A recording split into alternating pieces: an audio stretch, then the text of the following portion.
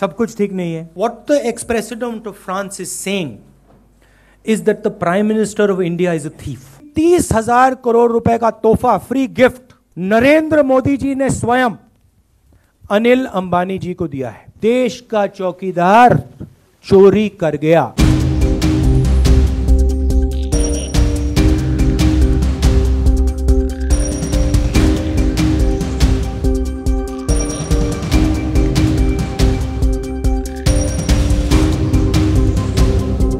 For the first time, probably in Indian history, a ex-French president is calling our prime minister a thief.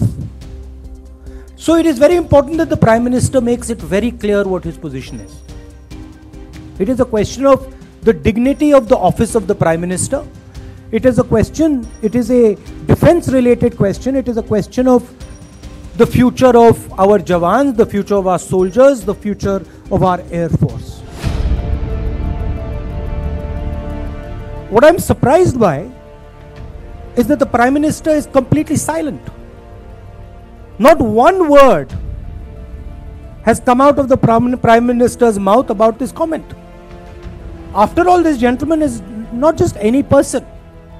This gentleman is the ex president of France who had a one to one meeting with the Prime Minister where the Rafael contract was decided. Hindustan के युवाओं, एक, आप एक बात अच्छी तरह सुनो। आपने नरेंद्र मोदी जी पे भरोसा किया था। नरेंद्र मोदी जी ने तीस हज़ार करोड़ रुपए का कॉन्ट्रैक्ट स्वयं पर्सनली अनिल अंबानी जी को दिया। अनिल अंबानी जी ने अपनी ज़िंदगी में हवाई जहाज़ नहीं बनाया। अनिल अंबानी जी का पैंतालीस हज़ार करोड़ रुपए का कर्जा है। अनिल अंबानी जी ने कंपनी दस दिन पहले खोली। नरेंद्र मोदी जी ने आपके जेब में से पैसा निकाला। हिंदुस्तान के जवानों के जेब में से पैसा निकाला, उनके परिवारों के जेब में से पैसा निकाला और अनिल अंबानी के जेब में डाला।